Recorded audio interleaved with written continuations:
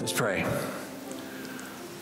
Lord God, we come to you in anticipation. We thank you, Lord, that you have come to us and revealed your character and your nature, that you alone are God. And yet we, we know you through the Father, through the Son, and through the Holy Spirit. We pray this morning that you would open us up to this joyous truth of who you are. In Jesus' name we pray. Amen. Please be seated.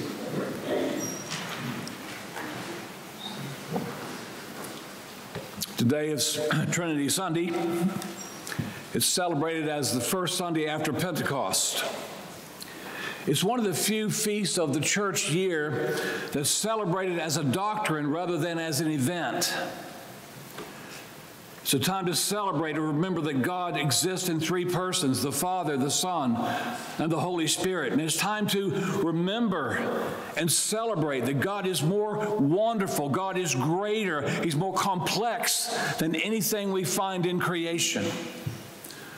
There is nothing or no one like God.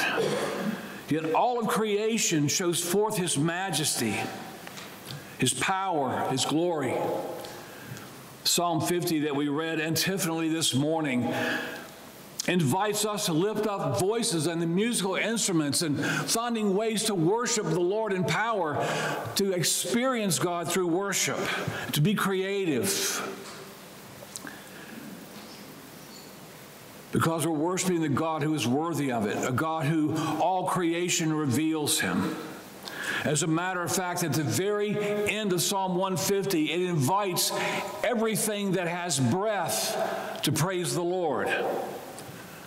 The doctrine of the Trinity has the same invitation. We should marvel and celebrate our God who is the Father, Son, and Holy Spirit. For he stands alone above all creation as the object of our praise, of our adoration.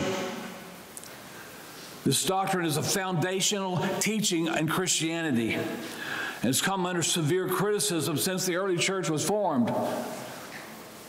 Early church father Tertullian, who lived from 160 to 220, you probably didn't know him.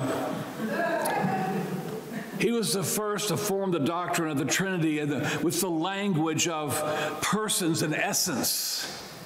He wrote that God exists in three distinct persons God the Father, the Son, and the Holy Spirit, but each has his own essence. And the basic idea is that the Father, Son, and Holy Spirit are co equal, they're co eternal, and yet each are self aware. The three persons are eternally together and cooperating. Each person is involved in everything that the others do. Jesus said in John 10 38, understand that the Father is in me and I am in the Father. And the Spirit is both the, the Spirit of God and the Spirit of Christ. Listen to Romans 8 9. You, however, are not in the flesh, but in the Spirit. If in fact the Spirit of God dwells in you, and anyone who does not have the Spirit of Christ does not belong to him.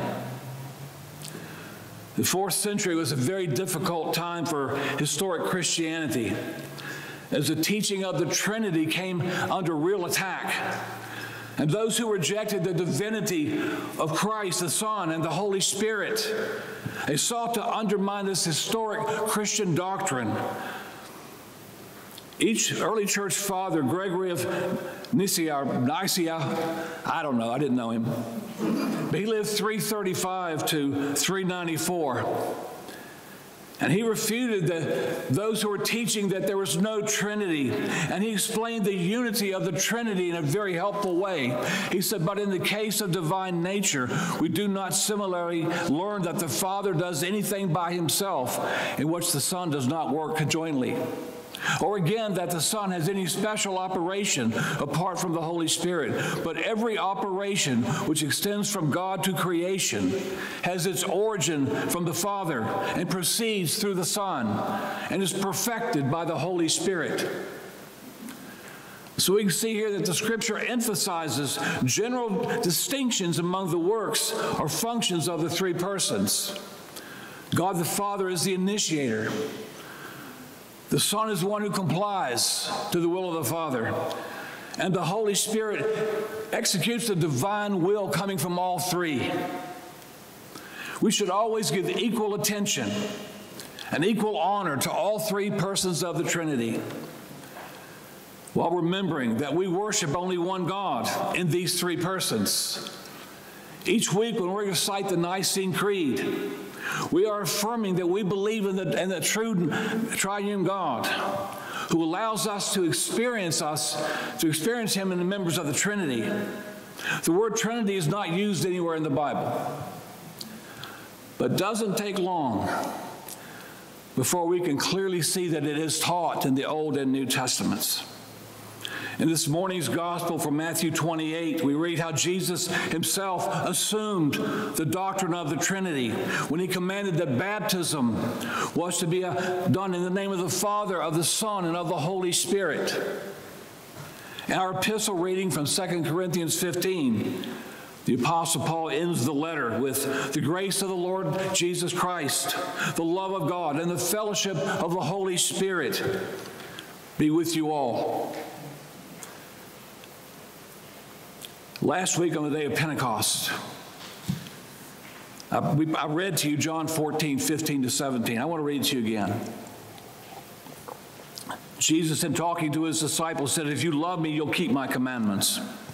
And I will ask the Father, and he will give you another helper to be with you forever, even the Spirit of truth, whom the world cannot receive, because it neither sees him nor knows him. But you know him for he dwells with you and he will be in you. Jesus was leaving the disciples to go back to the Father. But he said, I'm going to send back another helper, just like him. It's the Holy Spirit. In this text, we see the Father and the Son sending back the Holy Spirit to indwell the believer. And in doing so, it will be as if Jesus himself was right there with them bodily. The Trinity together were acting to accomplish the divine will, of which they're in complete agreement, always have been, and always will be.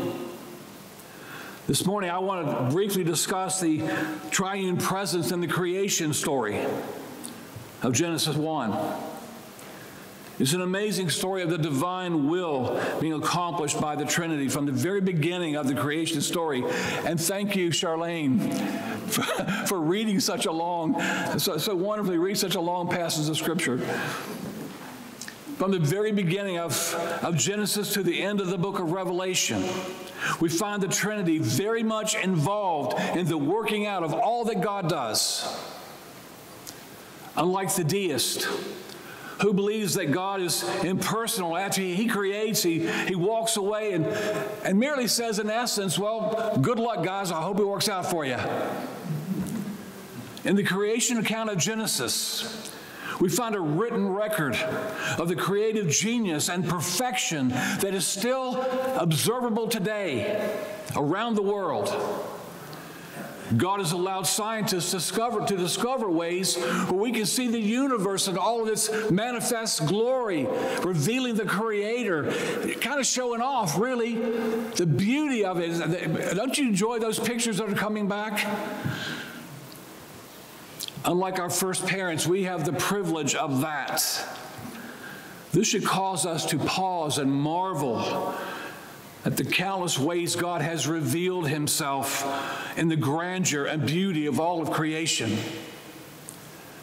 Even those around the throne of God praise him as the creator and the sustainer of creation. Listen to Revelation 4 9 to 11. And whenever the living creatures give glory and honor and thanks to him who is seated on the throne, who lives forever and ever, the 24 elders fall down before him who is seated on the throne and worship him who lives forever and ever. They cast their crowns before the throne, saying, Worthy are you, O our Lord and God, to receive glory and honor honor and power. For you created all things, and by your will they existed and are created. From the very first book of the Bible to the very last book of the Bible, we find the reason that God is worthy to be praised and honored and glorified is because He's the sovereign Lord and creator of all things. If that is all we knew about him, that would be enough reason to bow down before him and praise and adoration and worship his holy name. But the good news is that's not all that we know about him. But he has shared us with us his word. And he has given us his Holy Spirit that never stops revealing him, him to us and through all that he's made. Our scripture reading this morning from Genesis chapter 1, the Word of God begins our focus on the creation account as an event entirely accomplished by God alone the Father, the Son, and the Holy Spirit. Genesis 1, in the beginning, God created the heavens and the earth. So the first thing we need to see is that it was God who created, and that He did so out of nothing. Therefore, before the heavens or the earth, including the vastness of the universe, nothing else existed but God.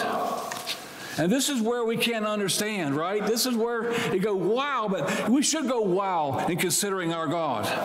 In Psalm 33, the psalmist captures this beautifully. He says, By the word of the Lord the heavens were made, and by the breath, the Ruach, the Spirit of his mouth all their host. For he spoke and it came to be. He commanded and it stood firm. Amen. David Guzik, in his commentary on, on Genesis, writes this The ancient Hebrew word bara, created, is specific. It means to create, uh, create out of nothing, showing that God created the world out of nothing, not even from himself. For God is separate from his creation. Unlike Eastern and pantheistic perceptions of God, the God teaches, our God teaches that the universe could perish and yet God would remain. Men cannot create in the same sense of the term used in Genesis 1 1. We can only fashion or form things out of existing material. The closest we come to creating is in reproducing ourselves through pro- procreation, and even that is a gift from God. And the insistence by some that there is no God is to ignore all of the evidence and the perfection of creation.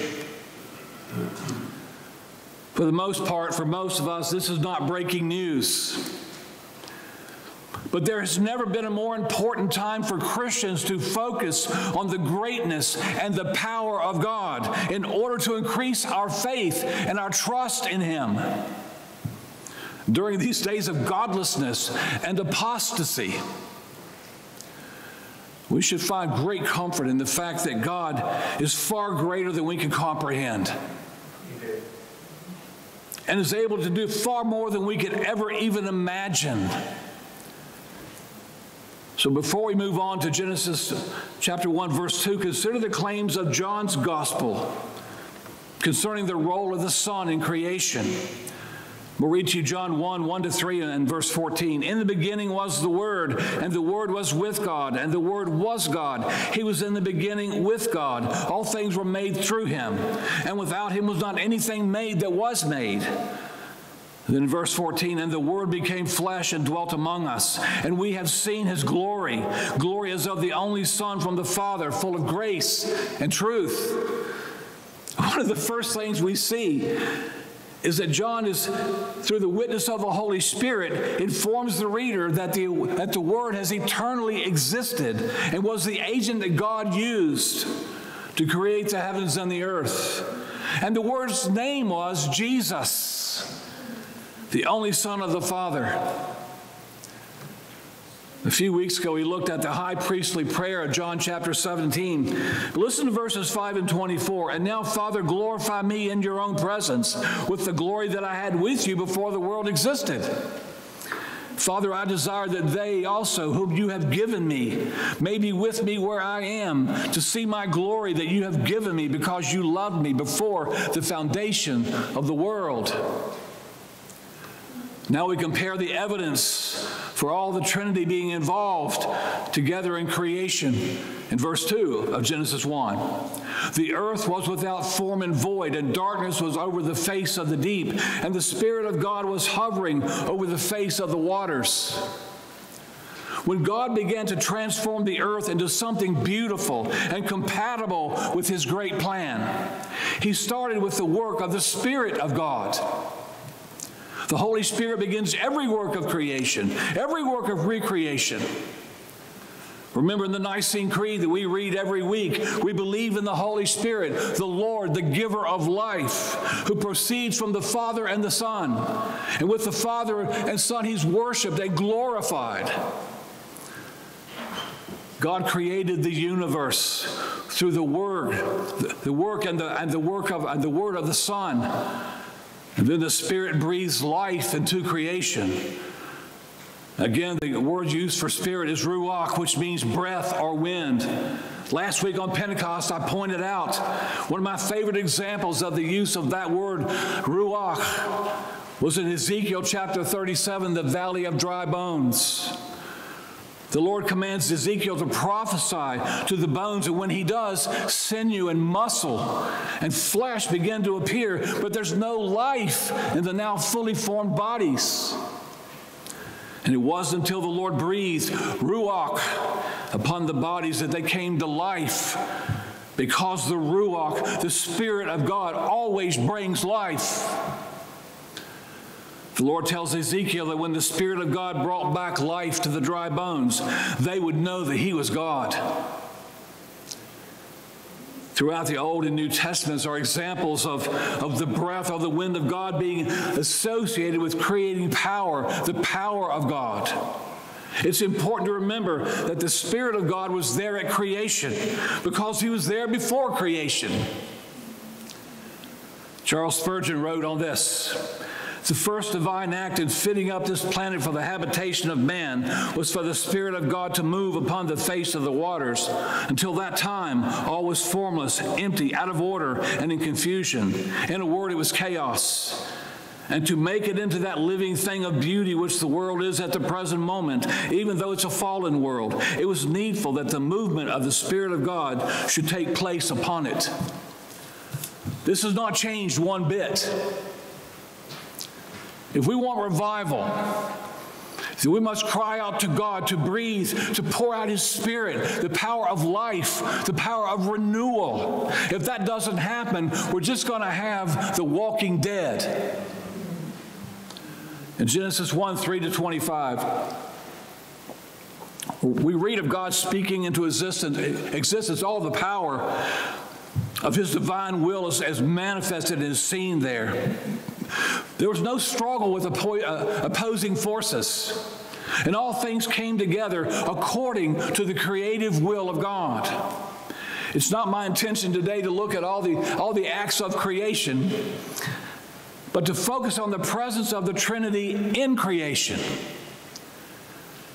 However, I will mention one thing that every part of the creation, God moved in such a way that He satisfied His purpose and to prepare for humanity's role in that creation, in His created world. In every creative event, God showed His power and authority by overcoming the chaos and the darkness and bringing everything into perfect order and under His dominion. By his words, he brought into existence all things and, and he even declared their meaning and their purpose. He created with a level of perfection that allowed creation to be able to sustain, sustain itself. There's nothing and no one in the universe like God. And that's the primary reason that the writer of Proverbs could say the fear of the Lord is the beginning of wisdom. I never cease to be amazed at the level of arrogance and blindness of those who suggest that God isn't just and good because he does not measure up to their, their expectations of what God ought to be. So let's now read the final verses revealing the presence of, of the triune God in creation. Genesis 1 26, 27. And then God said, Let us make man in our image after our likeness, and let them have dominion over the fish of the sea and over the birds of the heavens and over the livestock and over all the earth and over every creeping thing that creeps on the earth. And God created man in his own image. In the image of God, he created him. Male and female, he created them. That's important in today's world to know that, isn't it? For me, one of the most mysterious acts of God in creation is creating man in his image and likeness. It certainly doesn't mean that we look like God. He has two arms and two legs and nose, ears, and a body like a human being. Remember, Jesus told the, the Samaritan woman at the well in John 4 24, God is spirit, and those who worship him worship him in spirit and in truth.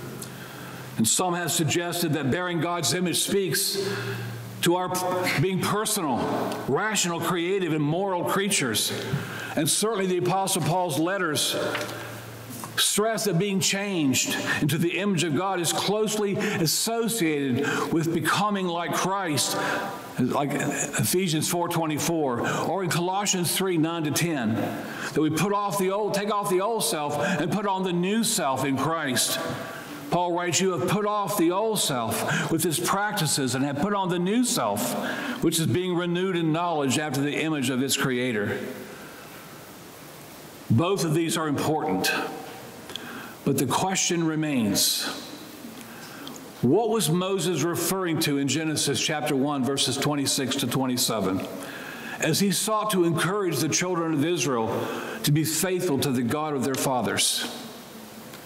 Dr. Richard Pratt writes In the ancient historical context, to be an image of God was associated with the idea of being a royal son of God. Ancient kings were thought to be the sons of the gods, imbued with honor of ensuring that the will of heaven be enforced on earth. This concept was part of God's design for the kings of Israel, who were called sons of God. In Genesis, however, a radical extension of this outlook of the Son or the image of God is applied to every human being, male and, and female. He created them. The point is that in the biblical view, all human beings assume the honor and the value only attributed to royalty.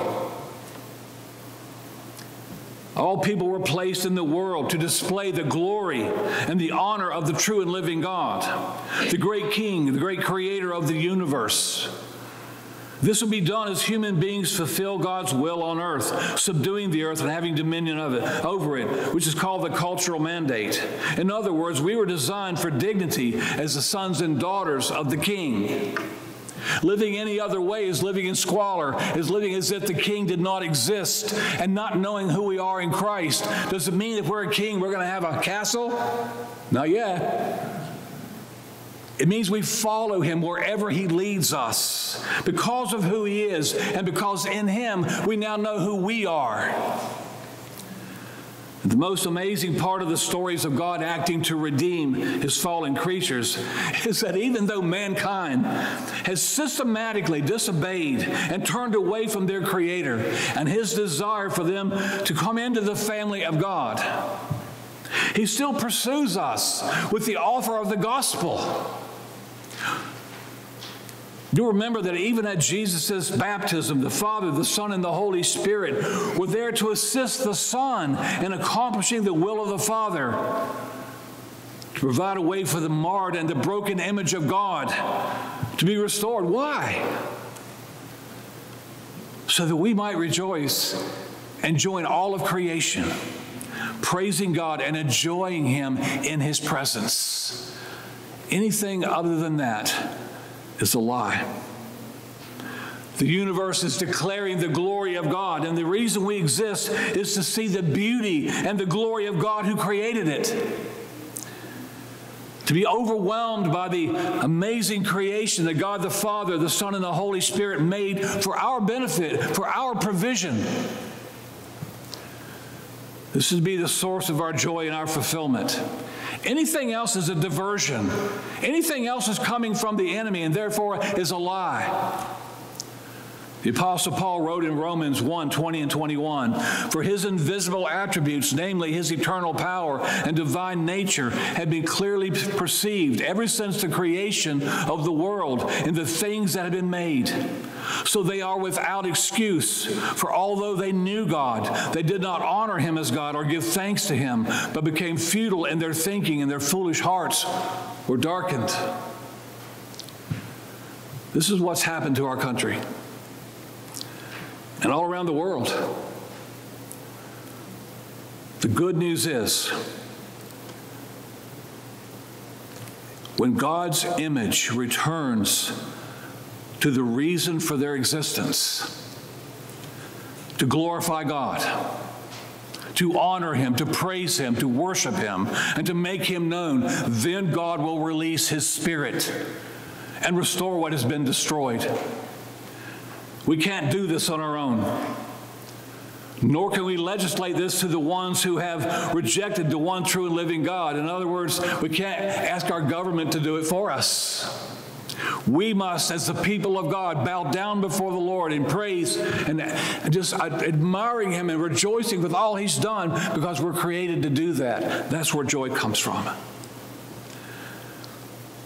The scriptures teach us throughout that the Trinity is able to move in power through the created vessels that submit in love to their Creator.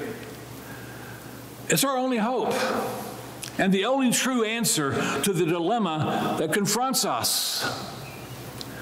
I want to close with reading Isaiah 45, verses 18 and 22 to 23.